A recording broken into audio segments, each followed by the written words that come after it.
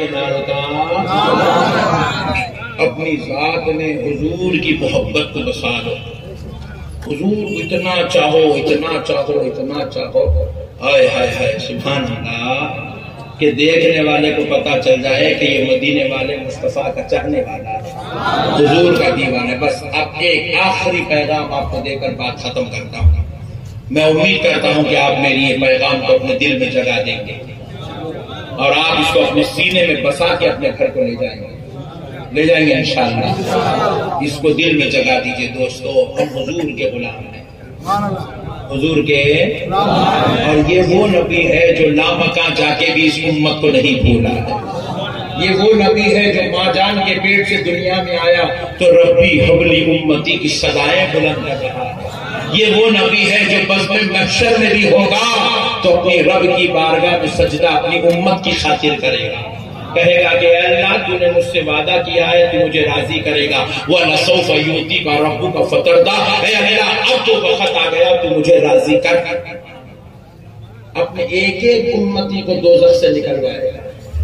और हाथ पकड़ के जन्नत में लेकर जाएगा। ये वो नबी आए तो प्यारे दोस्तों, ऐसे नबी की मोहब्बत, ऐसे नबी से प्यार कितना करना, कैसा करना? ऐसे नबी की गुलामी का हक अदा कैसे अदा करें? सुन लो मेरे भाई। आज आप हालात देख रहे हैं, कितने बद से बदतर, बद से बदतर, बद से बदतर हालात होते जा रहे आज आप देख रहे हैं गली गली में कूचे कूचे में जुल्म ज्यादती हो रही है, शरारतें हो रही है, बदमाशियाँ हो रही है। प्यारे दोस्तों, आप ये समझ रहे हैं कि मैं मुसलमानों से मशवरा करा, कहीं भी और हम ऐसा क्या हो चीफ मिनिस्टर बड़ा बदमाश है, वो प्राइम मिनिस्टर बदमाश है वैसा है वैसा है, ये है, वो इसके ऊपर होते रहते मुसलमान। लेकिन याद रखो, मुसलमानों, खाली गैरों को बुरा बोलना मसले का हल नहीं है। मसले का हल नहीं है।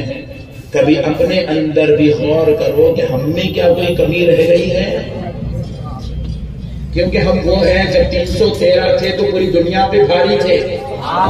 हम वो हैं जो करबला में बहत्तर थे तो हज़ारों पे भारी थे। बाईस हज़ार का लश्कर बहत्तर से काँप रहा था। हम वो हैं जो सलाउद्दीन अयूबी की शक्ल में आए तो प्यारे दोस्तों हमने फलस्तीन को आज़ाद करवा दिया। दोस्तों हम वो हैं जो हिंदुस्तान की धरती पर एक हज़ार साल तक हमने हुकूमत की है। आप अपने आप को मामूली मत समझो। वो ताजमहल जो है ना वो अपन बनाए सो है तुम लोग सही हो? मार हाँ वो चार अपन बनाए सो लाल मियाँ भाई भाई सुभान। सुभान। खुतुब मीनार। मियाँ दिल्ली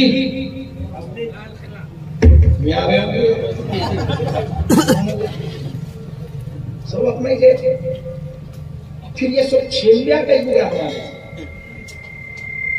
याद रखो आप इसमें किसी गवर्नमेंट को बुरा मत करो मुसलमानों को एक अच्छी चीज़ मिल गई किसको तो भी कुछ तो भी बुरा बोल देना आत्मा को शांति दिला देना।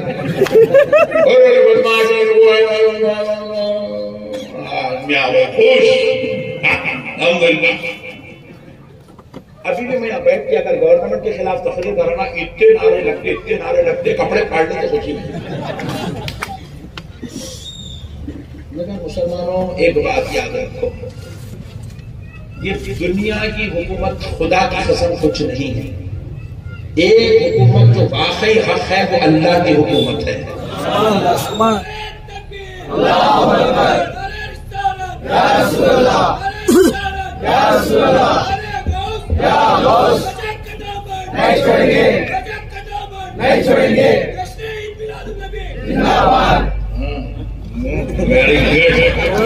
है मेरा पट्टा जब से माइक के पीछे था अपसेट होके बैठा मेरा भाई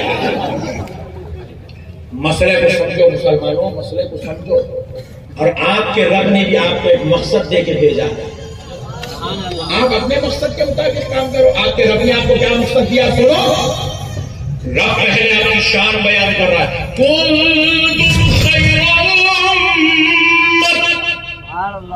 तुम तमाम उम्मतों में सबसे बेहतरीन उम्मत हो। पत्नी वालों ये तुम्हारे बारे में बोला जा रहा है। कहीं तुम समझेंगे यारों वालों के बारे में। नहीं नहीं नहीं ये आपके बारे में बोला जा रहा है चाड़ पत्री वालों, तुम हज़रत आदम की उम्मत से बेहतर हो। पत्री के मुसलमानों, तुम इब्राहिम सलाम की उम्मत से बेहतर हो, ईसा सलाम की उम्मत से बेहतर हो। जो जो मुसलमान जहाँ जहाँ कुरान पढ़ेगा, उसको अल्लाह कह रहा है, तू तमाम उम्मतों में सबसे बेहतरीन उम्मत है।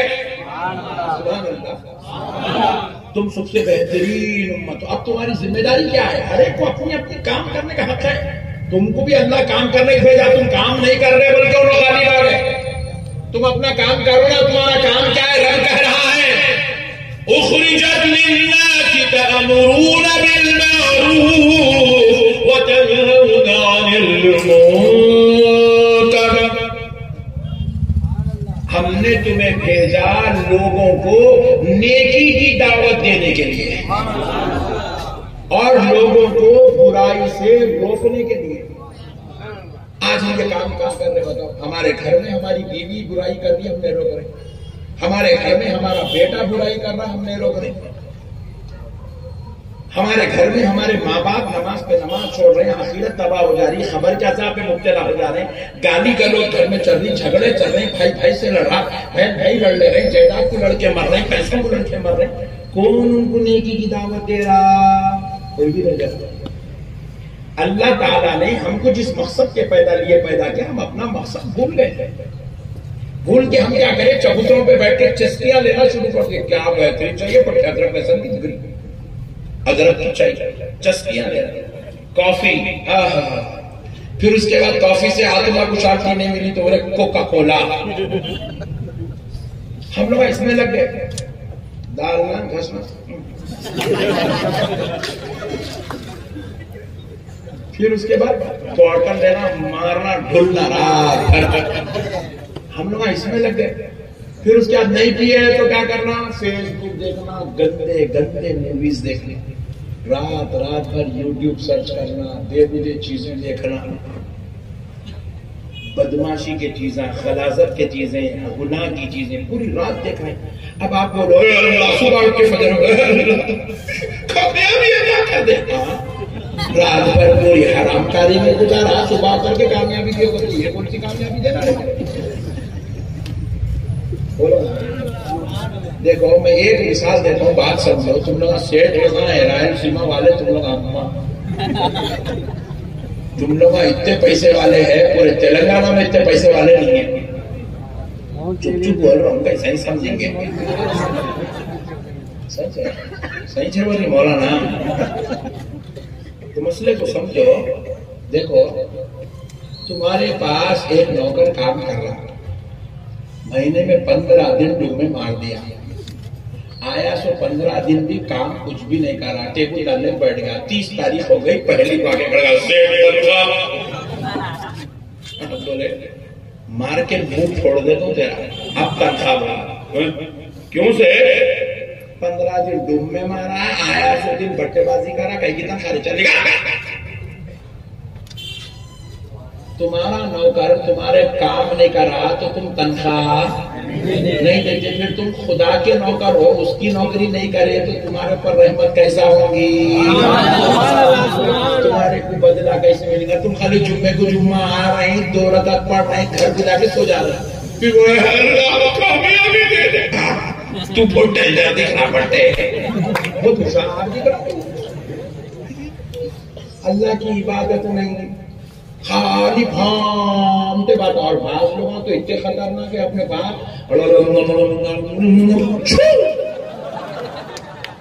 वो एक चल रहा है एक नया ही वीडियो आया मार्केट के अंदर वो हौला पूरी सुन्नियत का मुर्दा निकाल दे रहा जनाजा निकाल दे रहा पूरा यूँ यूँ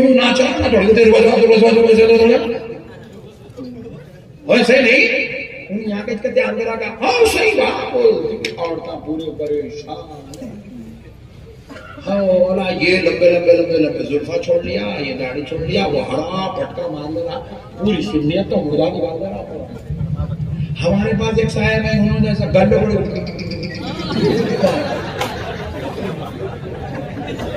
नया बाबा आया मार्केट के अंदर।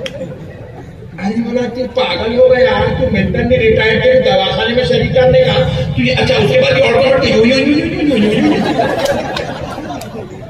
ये अलग तमाशा है लोगों को उन्हें एक गन से मार रहा है उसके अंदर चाची खत्म, दूसरी लेकर फिर छोड़ फिर दूसरी बोलेगा तीसरी लेकर मार रहा है। पूरे चिचोरे पैदा हो गए मार्केट के अंदर और ये पूरे चिचोरे मिलके अहले सुन्नत का ठेका लेके बैठे हुए हैं। अब ऐसे बट्टेबाजा मार्केट में रहेंगे फिर आप लोग कामयाबी देते? कामयाबी कहा देते? कैसा आएँगे मेरे पे कामयाबी? कैसा होगा? अल्लाह की रहमत क्या ऐसे बदमाश बट्टेबाज चोर लफंगे लुच्चे लोगों को अल्लाह ताला रहमत बन देगा ऐसे लोगों को अल्लाह कामयाबी का हिसाब से दूँगा मेरे भाई। वो 313 थे पूरी दुनिया पे गालिब इसलिए थे क्योंकि वो 313 मुकम्मल वही करते थे जो आमिना के लाल से सीखे थे।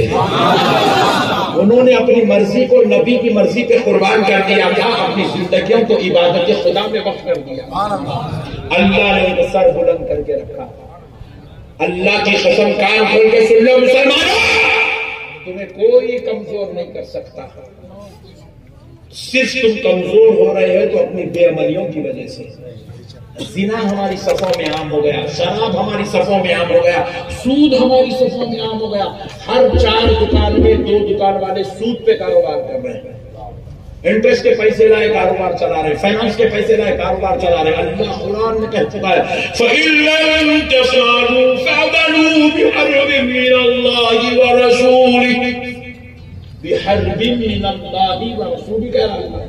फाइनेंस का कारोबार सूद का कारोबार इंटरेस्ट का कारोबार करने वाले मुसलमानों से अल्लाह का खिताब है सूद का कारोबार करने वालों सूद पे पैसा लेने वालों सूद पे पैसा देने वालों सूद पे पैसा दिलाने वालों तैयार हो जाओ अल्लाह और उसके रसूल से जंग करने के लिए हम फाइनेंस का कारोबार कर रहे हैं अल्लाह माफ़ करे। फाइनेंस का कारोबार करने वाले को मस्जिद का सदर बनाया जा रहा है। यहाँ ध्यान को ताड़पत्री में इंडिया की बात कर रहे हैं। फाइनेंस का कारोबार करने वाला मुसलमानों का लीडर है। मुसलमानों का रहनुमा है। मुसलमानों का रहबर बना हुआ है। जिसके ऊपर अल्लाह का अजाब उतर रहा है, वो अगर टीम को लीड करेगा तो उस टीम के ऊपर अल्लाह की रहमत कहाँ से बरसेगी मेरे तुम लाख नमाज़ पढ़ लो। जिना कर रहे हो, चोरी कर रहे हो, सूद पे खा रहे हो। अब अल्लाह तुमको कामयाबी कैसे अदा करेगा? अब अल्लाह हमारे ऊपर रहमत के दरवाजे कैसे मेरे भाई कैसे फजल उतरेगा अल्लाह का हमारे ऊपर? थोड़ा सोचो मेरे भाई हम अपने बीवियों पे जुल्म कर रहे हैं, अपने बच्चों को जो है, हम जो लाठोर छोड़ेगा मार्केट में। हमारा बच्चा गांजा गांजा पी रहा हमारा बच्चा शराब पी रहा हमारा बच्चा गुटके खा रहा हमारा बच्चा जर्दा खा रहा हमारा बच्चा नंगे नाच नाच रहा, हमारा बच्चा कलबों की जीनत बना हुआ है, हमारा बच्चा डिस्को सेंटर का हीरो बना हुआ है। हमने औलाद को अल्लाह की राह में इबादत सिखाने के बजाय उसको जलालत और शरारत का मरकज बना के छोड़ दिया। अब जरा ईमान से अल्लाह को हाजिर नाजिल जानकर अब हमारे ऊपर अल्लाह की रहमत कहाँ से आएगी? कामयाबी कहाँ से आएगी? हम खाली हुकूमतों के खिलाफ बोलना हमारी ज़िंदगी का मकसद बना के बैठे रहे। नहीं, मुसलमानों, खिलाफ बोलना तुम्हारा काम नहीं है। खिलाफ बोलना बंद करो खिलाफ बोलना बंद करो। आज के बाद कोई किसी हुकूमत को बुरा नहीं बोलेगा। तुम काम करो अपने बातिन को छाप कर देखो। अपने अंदर गौर करो हमने क्या कमी हो गई। आज हमें कमी हो गई तो नेकी की कमी हो गई। नेकी की दावत की कमी हो गई। हमें आज मुसलमान मुसलमान से जल रहा, मुसलमान मुसलमान से बोक मुसलमान मुसलमान की टांग पकड़ के खींच रहा। एक मुसलमान खड़ा, पैसे बना लिया। इतने बदमाश हो गए हैं हम लोग दो मुसलमान रास्ते से गुजर रहे दो मुसलमान गुजर रहे एक भाई अपना बिल्डिंग बना लिया, पाँच मंजिला बिल्डिंग बना लिया। दो मुसलमान चलते चलते दोनों नज़र क्या बिल्डिंग बना हुआ ज़बरदस्त बिल्डिंग है यार। एक जन बना। दोनों में से। दूसरा क्या हराम के पैसे ला दो मिनट में उसकी साठ साल की कमाई का मुर्दा निकाल जाएगा झूठा इल्ज़ाम लगा के छोड़ दिया। कई को बोला, ऐसा क्यों कहने वो मुसलमान के माल को देते? मुसलमान खुश नहीं होना। बर्दाश्त नहीं कर सक रहा तकलीफ़ की इंतहा आज हमारे पास एमएलए की कमी है। वजह क्या है बोलो आप? वजह क्या है? हमारे तेलंगाना में भी एमएलए को मुसलमानों को सिटीज़ नहीं दिए जाके वो चीफ मिनिस्टर साहब जो थे, उनसे बात करें। लास्ट जो चीफ मिनिस्टर से बात करें। मुसलमान जाके बोले, रिक्वेस्ट करें, साहब मुसलमानों को सीट दो। मुसलमान को ठहरा करो आप। मुसलमान को ठहरा नहीं करे एक सौ दस सीट है, उसके अंदर एक मुसलमान दीजिए बाकी का कोई मुसलमान ठहरा नहीं करे आप क्यों ऐसा कर रहे हैं? आप दीजिए मुसलमानों को सीट। बड़े दावे करते हैं मुसलमानों से मोहब्बत के मुसलमान एमएलए के आप कॉन्टेस्ट नहीं करवा रहे? तो बोले, एक नहीं, पच्चीस दे तो पच्चीस। पच्चीस मुसलमानों को ठहरा कर पहले तुम लोग कसम खा के जाओ। तुम लोग मुसलमान मुसलमान को वोट देता क्या? तुम खुद तुम्हारे मुसलमान को वोट नहीं डालते। तुम लोग खुद आपस में बटे हुए हैं। तुम लोग खुद आपस में उसकी टांग पकड़ के खींचते तुम लोग खुद उसको जो है इज़्ज़त के धक्के उड़ाते हैं। मौका मिला तो उसका नारा खींच देते पूरा तुम लोग खुद बटे हुए उन्हें वो पार्टी में जाता, उन्हें वो पार्टी में जाता, उन्हें वो पार्टी में जाता, उन्हें दो सौ दिए तो वहाँ चल जाता, पाँच सौ दिए तो वहाँ चल जाता, एक लाख दिए तो वहाँ जाता, दो लाख दिए तो वहाँ जाता। तुम खुद आपस में एक नहीं है तो तुम्हारे क्या तुम्हारे को एमएलए देंगे क्या तुम्हारे को पार्टी देंगे बात समझ रहे मेरे भाई?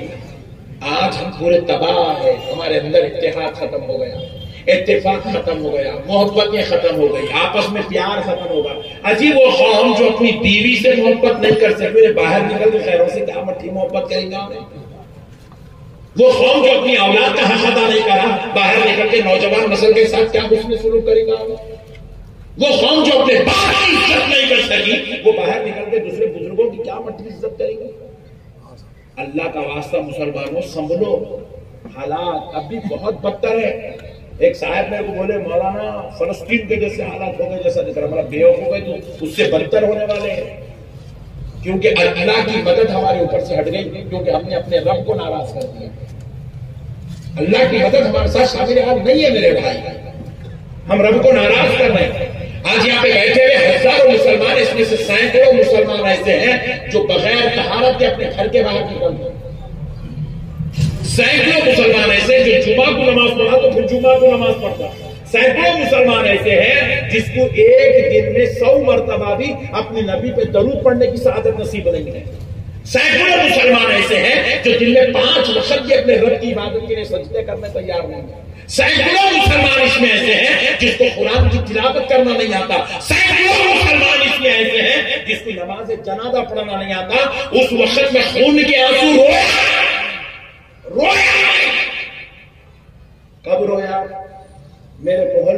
मस्जिद में जनाजा आया। डेढ़ सौ आदमी थे जनाजे, सौ आदमी मस्जिद के अंदर आए, पचास आदमी मस्जिद के बाहर खड़े हुए। मैं मस्जिद में दाखिल होते होते बोला, कह को रहे मैं इतनी बड़ी तादाद में जनाजा आया, हज़रत जनाजा आया। बोला, बेवकूफ़ी बाहर के उठाना चल जमात का टाइम होगा। नहीं हज़रत, आप चलो मैं आप चलो मैं अरे, कहीं को नहीं आता मैं अंदर? नहीं, मेरे को तहारत नहीं है, बोल रहा अब बताओ मुसलमानों, कामयाबी कहाँ से मिलेगी इस कौम को? कहाँ से सरफराज होगी ये कौम? सूद का कारोबार जिनके पास हो, शराब जिनकी आदत बन गई हो, रातों में अयाशी जिनका पेशा बन गया हो फेसबुक यूट्यूब और व्हाट्सएप इनकी ज़िंदगी की जो है सबसे बड़ी मसरूफियत बन गई हो माँ बाप की नाफरमानी जिनकी जिंदगियों में शामिल हो गई हो, बीवी बच्चों के साथ बदसुलू की जो कौम करती हो, जो नमाजों को छोड़ चुकी हो, अखलाक भूल गई हो, तहजीब भूल गई हो, मोहब्बत भूल गई हो, इंसानियत भूल गई हो, सलालत और जिस कौम के अंदर आके बस गई है। फिर उसके बाद वो कौम किसी हुकूमत को गाली दे तो शर्म आती है उस कौम के ऊपर।